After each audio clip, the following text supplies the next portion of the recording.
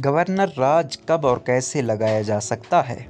माजी के तजर्बे और हाल के तजिए।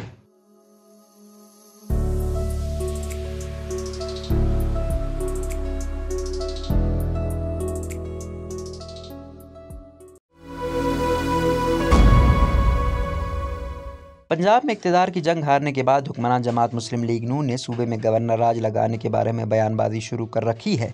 वही पंजाब है जहाँ सबक सदर आसिफ अली जरदारी ने 2009 में उस वक्त के वज़ीर अला शहबाज शरीफ से इख्तियार छीन कर अपने गवर्नर सलमान तासीर को सौंप दिए थे। माजी में पंजाब ही नहीं, सिंध और बलूचिस्तान में भी गवर्नर राज लगाया जा चुका है। जैसा की आपको याद होगा की माजी में नवाज़ शरीफ और मोहतरमा बेनजीर भुट्टो की हुकूमत को दो दो बार बरतरफ किया जा चुका है। माजी में सदर ममलिकत को आयन की शिक फिफ्टी एट टू के ज़रिए इख्तियार हासिल था की वो किसी भी वक्त इसम्बलियाँ तहलील कर सकते हैं और ऐसे ही जब वज़ीर आज़म चाहे किसी भी सूबे में गवर्नर राज लगा सकते थे, लेकिन अठारहवीं तरमीम के बाद असम्बलियाँ तोड़ना और गवर्नर राज लगाना बहुत मुश्किल हो चुका है। चंद माह का जब मुल्क में तहरीक इंसाफ की हुकूमत थी तो उस वक्त वफाक से सिंध में गवर्नर राज लगाने की आवाज़ें सुनाई देती रही हैं। लेकिन शदीद तरीन ख्वाहिश के बावजूद पी टी आई सिंध में पीपल्स पार्टी की हुकूमत को हटाने से कासिर रही। गवर्नर राज दरअसल किसी सूबे का निज़ाम बरह रास्त वफाक की हुकूमत के सुपर्द करने का नाम है। वफाक की तरफ़ से किसी सूबे में एमरजेंसी की सूरत में गवर्नर राज नाफिज किया जा सकता है, मगर अठारहवीं तरमीम के तहत गवर्नर राज के नफाज को सूबाई इसम्बली की मंजूरी से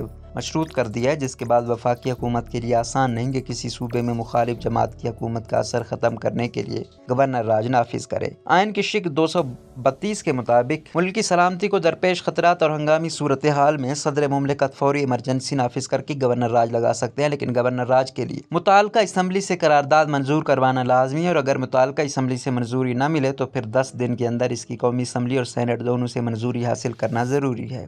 पी टी आई के दौर में उस वक्त के वज़ीर दाखिला शेख रशीद गवर्नर राज के ख्वाहिशमंद थे और चूँकि गवर्नर राज की समरी वजारत दाखिला की ज़िम्मेदारी है, इसलिए मौजूदा वज़ीर दाखिला राना सनाउल्ला भी गवर्नर राज का शौक पाल बैठे हैं। शेख रशीद तो गवर्नर राज की ख्वाहिश दिल में लिए वजारत से बेदखल हो गए, लेकिन अगर राना सनाउल्ला की ख्वाहिश पर नज़र की जाए तो ये दीवाने के ख्वाब से ज़्यादा अहमियत नहीं रखती। गवर्नर राज लगाने के लिए इस वक्त वफाकी हुकूमत के पास कोई माकूल जवाब नहीं, और अगर वज़ीर आज़म चाहें भी तो पंजाब में गवर्नर राज लगाना आसान नहीं। पंजाब में गवर्नर राज के लिए सबसे पहले सदर की मंजूरी चाहिए, जो कि आरिफ अलवी कभी नहीं देंगे। अगर वफाकी हुकूमत किसी और तरीके से पंजाब में गवर्नर राज लगाना चाहे तो सुप्रीम कोर्ट किसी सूरत ये मुमकिन नहीं होने देगी। इसके बाद रह जाती है असम्बली तो खुदा खुदा करके बनने वाली पी टी आई हुकूमत के अरकान किसी सूरत गवर्नर राज की समरी मंजूर नहीं होने देंगे। यूँ राना सनाउल्ला की धमकी या ख्वाहिश शायद दिल में रही रह जाए।